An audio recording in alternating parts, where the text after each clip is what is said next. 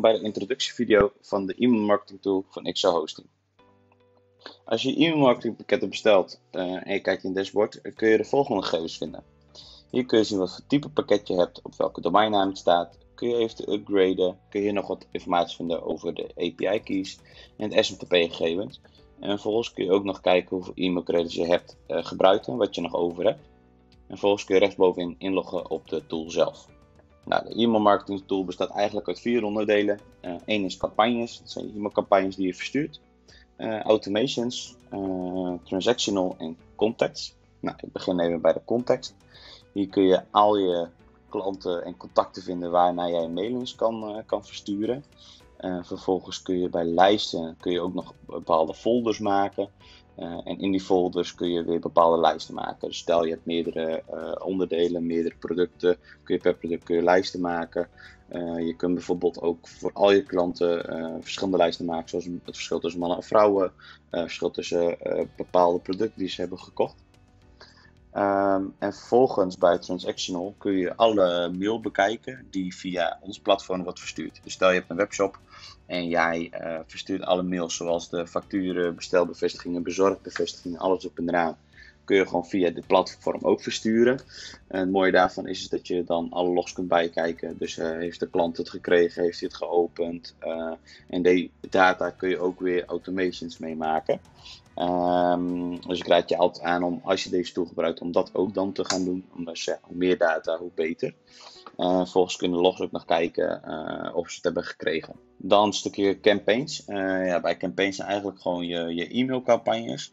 Je verstuurt soms waarschijnlijk wel eens een nieuwsbrief of een bepaalde actie die, die je op dit moment hebt. nou, wat je dan doet is dan dat je een nieuwe e-mailcampagne creëert. Uh, vervolgens geef je de campagne een naam. Nou, dat kan bijvoorbeeld zijn dat dit is een test, dit is een, een naam die jij alleen ziet. En de subject line van dit is een testmail. Dit is de, dit is de titel die jouw gebruikers ook zullen gaan zien. Nou, het van e-mailadres en de van naam, zo belangrijk. Vervolgens kun je eventueel ook een AB-test doen. Dat, dan kan je twee verschillende uh, onderwerpen kun je meegeven. En dan kun je later in de data kijken welke mail het vaakst geopend is, zodat je uh, je nieuwsbrieven kan, uh, kan optimaliseren. Um, vervolgens naar de volgende stap. Hier kun een design kiezen. Nou, ik geef altijd aan dat je de drag and drop editor het best kunt gebruiken. Ik heb al een, een template aangemaakt. Nou, die template die klik ik aan, zodat ik ja, elke mail eigenlijk een beetje dezelfde, dezelfde stijl heb. Nou, als je die aanklikt, kom je vervolgens weer in de drag-and-drop editor. Nou, als je ziet, wordt mijn logootje alles mooi ingeladen. Ja, vervolgens heb ik hier een titel staan, uh, hier een titel, stukje tekst en een knop, uh, een afbeelding. Uh, dus dit kan je allemaal, als je hier op afbeelding klikt, kun je een afbeelding uploaden. En dan kun je hier zo kun je die hier, hierheen slepen eventueel. een titel kun je invullen, een knop kun je een linkje geven. Maar ook de kleur kun je veranderen van de knop. Je kan hem groter maken, je kan de teksten groter maken, je kan de, de afronden kun je helemaal niet of groter maken. In midden of rechts zetten. Zoals je het, ja, genoeg, uh, genoeg mogelijkheden. Uh, eventueel kun je ook nog wat ding, extra dingen invoegen, zoals een, een drie kolommer of een één kolommer. Kun je allemaal ja, zelf, zelf toevoegen. Als je daarmee klaar bent, dan kun je hem ook nog eventueel bekijken op, op mobiel, hoe de mail er op mobiel uitkomt te zien. en ook op tablet. Vervolgens klik je op uh, Save and Quit. Daarna uh, druk je op Next Step.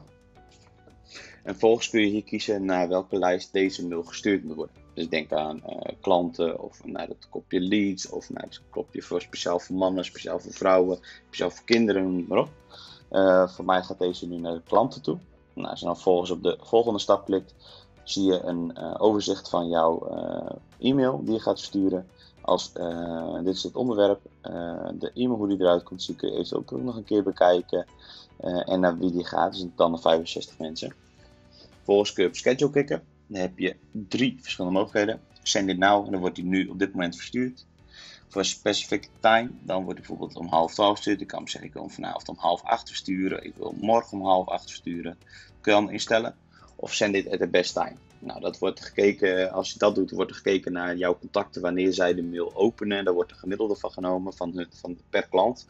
En dan sturen ze de mail op het juiste moment voor de klant. Vervolgens hebben we nog één onderdeel, dat is de automations. En bij automations kun je heel veel dingen automatiseren. Zo heb je bijvoorbeeld de anniversary date. Stel een klant is jarig, kun je een mail sturen automatisch met een bepaalde kortingscode erin. Uh, als er een bepaald product is gekocht, uh, kun, je een, uh, kun je een mail sturen. Kun je zeggen van, stel de klant heeft de Sonos box gekocht. Een dag nadat hij heeft ontvangen, stuur je een mailtje met tips en tricks hoe je het best in kan stellen. Of eventueel andere trucjes of dingetjes die je kan gebruiken. Na een week later kun je nog een keer mail sturen van, hey, hoe, bevalt je, hoe bevalt de kwaliteit van je Sonos? Wist je ook dat je er nog één aan kan koppelen, zodat je nog één, dus misschien nog één kan verkopen. En kan bijvoorbeeld zeggen, na een maand, je hebt nu een maand in je Sonos, wat je van het product, weer feedback geven. Zo kun je jezelf een beetje beter maken. Dat kun je hem automatiseren met de, de automation mogelijkheid van, uh, van de e-mail marketing tool. Nou, dat was heel kort en bondig het product. Wil je nou meer weten, kun je altijd even naar excelhosting.help gaan. Uh, op deze website kun je heel veel vinden over onze producten, zo ook de e-mail marketing. En hier uh, ja, staan een aantal helpartikelen zodat je van start kan gaan met je product. En mocht je dan nog meer willen weten, kun je altijd naar de website gaan en kun je ons benaderen via de chat, telefoon en e-mail.